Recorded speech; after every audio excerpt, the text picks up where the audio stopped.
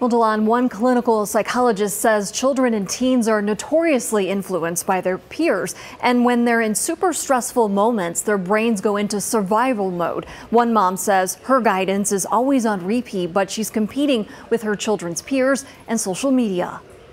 You gotta move your feet. Put your feet in the air and put them back. Felicia Scarborough Troop has five children. Do you or have you worried about your kids growing up now? Absolutely. Her oldest is 14. We have an open relationship. Felicia says her daughter made valedictorian in her graduating eighth grade year, despite all the bad stuff around her. So that she understands some people just don't want to do right. Felicia lives in Old Brooklyn, where on August 3rd, a 21 year old woman died at the corner of Pearl and Altoona. Surveillance video shows a stolen Kia smashing into the car Janet Reyes was riding in.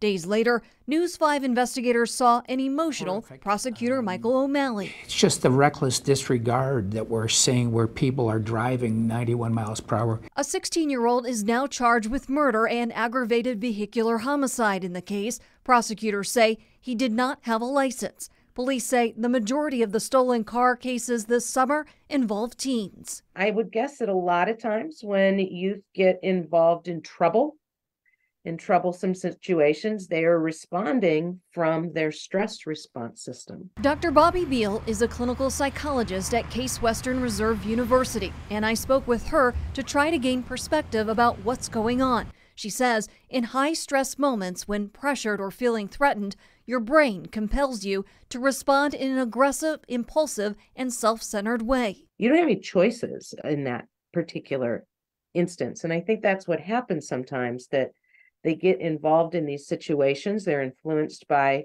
uh, all sorts of things, including the media and the news and uh, and their family backgrounds and and or lack thereof. So it's not a matter of knowing right from wrong?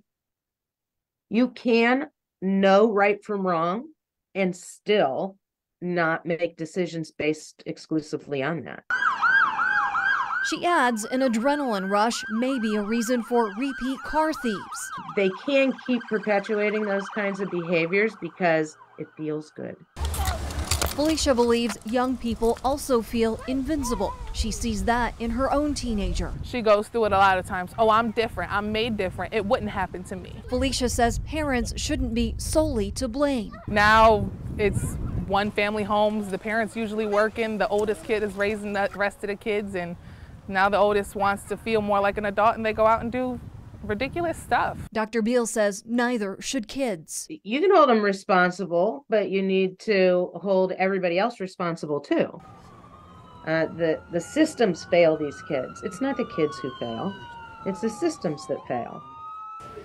And Dr. Beale says a way to break the cycle is to help children and teens find and create safe, stable, and nurturing relationships. As for the 16 year old charged in the Old Brooklyn case, his bind over hearing is set for mid October. I'm News 5 investigator Tara Morgan.